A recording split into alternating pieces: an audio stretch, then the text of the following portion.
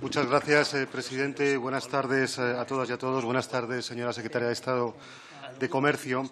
Querría empezar eh, sencillamente destacando algo de, lo que usted ha dicho en su intervención, de las últimas cuestiones. decía usted que ha habido un incremento moderado del presupuesto en comercio, hablaba de unos 400 millones, 400 y pico millones, con una subida para este año de unos 3 millones.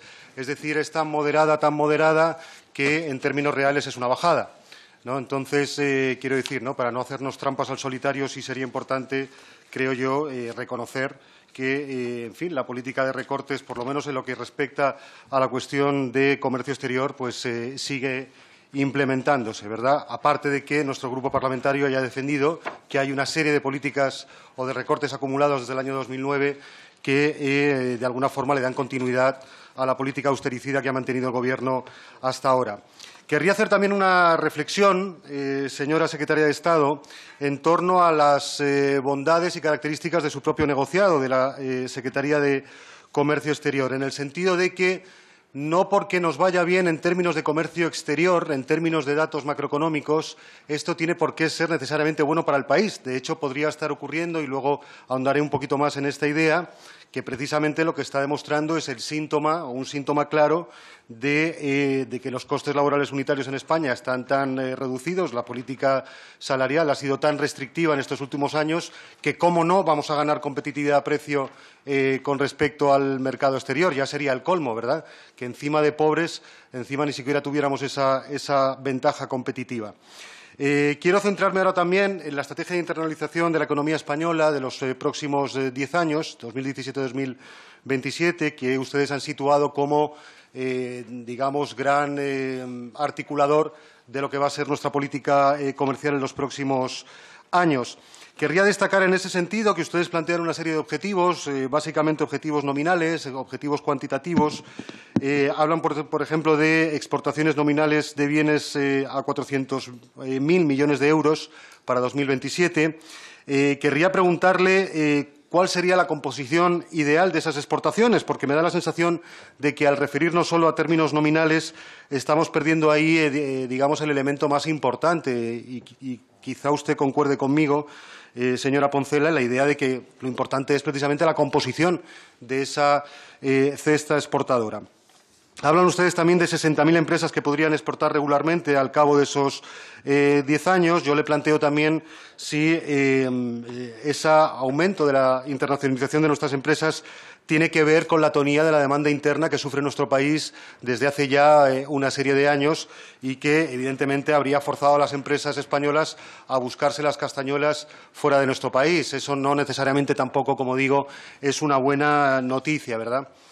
Em, entrando ya un poco punto por punto eh, algunos elementos de su plan eh, plurianual, como decía, y a los propios datos de presupuestos de este año, Querría hacer alguna serie de reflexiones eh, que, eh, si no les mucha molestia, me gustaría que las comentara también. En primer lugar, hablamos de que las exportaciones de, bienes, y servicios vuelven a crecer prácticamente al mismo ritmo que crecían antes de la crisis. Estamos hablando de un 4,8 del crecimiento anual medio entre el 99 y 2007 versus 4,6 el periodo 2014-2017. Hasta ahí, digamos, vamos bien. Claro, luego nos fijamos en la composición, señora Poncela, y vemos que la exportación de bienes en realidad crece a un ritmo marcadamente inferior al periodo precrisis. Hablamos de 5,3 que crecía antes a un 3,9 que crece ahora. Y, sin embargo, es la evolución de los ingresos por turismo lo que justifica que estemos ahora mismo en estos eh, niveles. Daría la sensación de que cada vez más nos convertimos en un país eh, eh, de monocultivo eh, que sería, eh, digamos, la industria del turismo. No tiene nada de malo, y lo hemos dicho ya en otras ocasiones, en este y en otros espacios, eh, tener un turismo tan potente como lo tiene España. el problema es cuando dependemos casi en exclusiva de esa partida, que además, por lo que usted sabe, es absolutamente sensible a los ciclos económicos y, por lo tanto, nos hace ser especialmente, vamos a decir, víctimas de esos vaivenes eh, que se producen a nivel eh, mundial.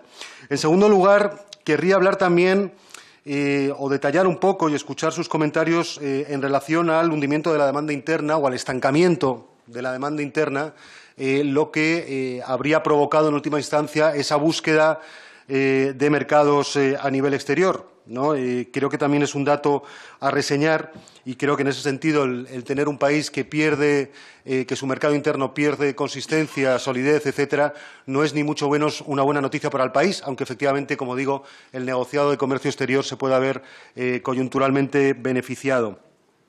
En tercer lugar, eh, señora Poncela, quisiera hablar de la base exportadora. Eh, tenemos la sensación de que la base exportadora de, la economía española ha crecido sobre todo entre los años 2010-2013, un 11% anual. Ahí fue cuando se produce esa explosión de nuestra base exportadora, pero esto tiene más que ver, parece, precisamente con esa caída de la demanda interna que antes eh, comentábamos, antes que el propio impulso de las exportaciones. Solo le quiero destacar un, dato eh, que daba el ICEX hace relativamente poco, donde dice que, a pesar del aumento de la base exportadora en España, solo el 1,5% del tejido empresarial concentra el 94% de las exportaciones de bienes. No está precisamente muy distribuido. En cuarto lugar, em, querríamos hablar también de las exportaciones de alto contenido tecnológico, algo que ya hemos tenido ocasión de comentar con anteriores exposiciones. Da la sensación, señora Poncela, que el peso relativo de este tipo de exportaciones sigue más o menos estancado, ¿no? en un 9%. Por lo tanto, eh, si hay que concluir algo de todas estas cuatro premisas que acabo de exponer, yo diría que eh, no hay una mejora de la composición eh, de nuestras exportaciones y la base exportadora, me temo que no es suficiente, o el aumento de la base exportadora, me temo que no es suficiente para asegurar que el diagnóstico de la salud de nuestro comercio exterior está mejorando. En quinto lugar, señora Poncela, Querría hablar precisamente de la competitividad-precio en la que se sitúa la economía española y lo que explicaría, en gran medida, ese aumento de las exportaciones. Yo querría preguntarle, señora secretaria de Estado, ¿conoce usted lo que es la paradoja de Caldor? ¿Ha ido usted a hablar de esa paradoja?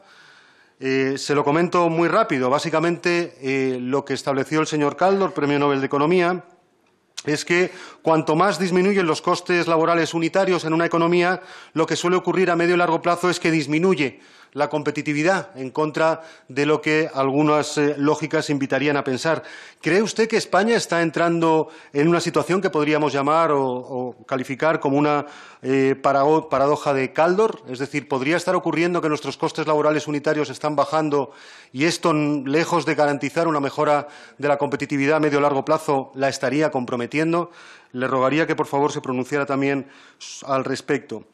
Quiero hacer también un comentario en relación a las eh, cadenas globales de valor, algo que también se ha puesto digamos, eh, de relieve en, últimas intervenciones y que creo que también eh, recuerdo que el año pasado, cuando discutimos de presupuestos generales del Estado, en la cartera de comercio, fue también uno de los temas a, a discutir quizá más interesantes. en principio, todo parecería indicar que España poco a poco se va integrando en esas cadenas globales de valor, lo que pasa es que, según eh, los estudios que he podido consultar, señora Poncela, quisiera que usted me los confirmara o me los matizara, ocurre que eh, tenemos una especie de aumento de la participación backward, ¿no? como dicen técnicamente, y no forward. Es decir, que al final lo que está ocurriendo es que la integración de España en esas cadenas globales se da más bien por el lado de las importaciones y no tanto por el lado de las exportaciones, que sería, entiendo yo, eh, algo bastante más sano.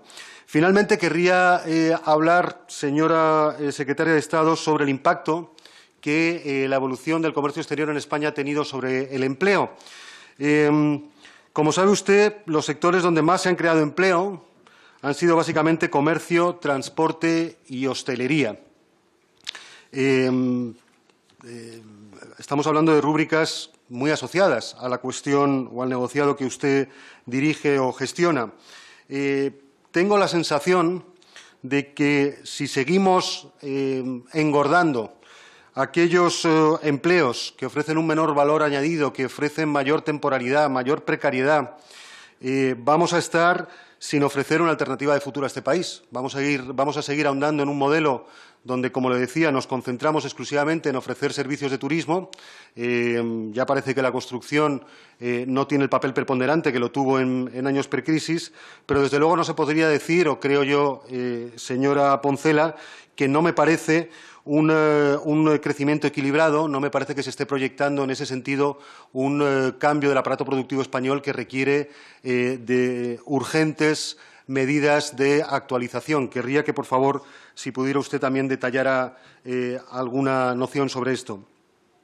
Em, Hablamos también el año pasado, eh, señora Poncela, y creo que también es pertinente que lo hagamos en este, de eh, ciertos vientos de cola que ha tenido la economía española y cómo eso también ha impulsado particularmente la economía española. Señor Estamos hablando. Vaya concluyendo, por favor. Sí, eh, gracias, presidente. Estoy hablando precisamente de los precios del barril de petróleo, que ya lo discutimos el año pasado eh, y que, entiendo yo, estaría siguiendo empujando a la economía española hacia adelante en la medida en que nuestra dependencia de combustibles fósiles, como usted sabe, es superior al resto de países eh, europeos. enfatizo también la cuestión de la devaluación salarial y el mercado de trabajo, porque como seguramente usted sabrá, esa es la obsesión de todas y todos nosotros, ¿no? intentar que el empleo en este país se recupere y que los trabajadores y trabajadoras tengan los salarios dignos que, por desgracia, hoy no tienen. Por último, y ya para resumir, eh, señor presidente, insistir o eh, ahondar en la idea de que nuestra inserción a nivel comercial se produce de una forma, vamos a decir, cualitativamente pobre. Eh, y ello se debe básicamente a dos elementos eh, que ella ha comentado, pero que querría eh, cerrar esta intervención destacándolos. En primer lugar, mantenemos la composición con bajos valores añadidos, y en segundo lugar, tenemos una integración en las cadenas globales de valor que sencillamente no van en la dirección que todas y todos hubiéramos querido. Por lo demás, le agradezco su comparecencia. Gracias, presidente.